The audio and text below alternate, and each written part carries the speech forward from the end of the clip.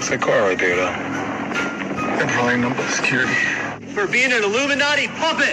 Sell out. Oh, shit.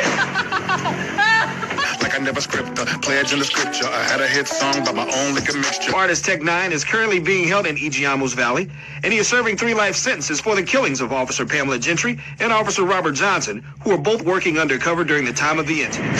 Toured with the Jay Rock, with the homie K-Dot. Like I ain't never had the allure for the pay slot. Stressing like I didn't step in the session with the seven. Never guessing the effing cure is the spray thoughts.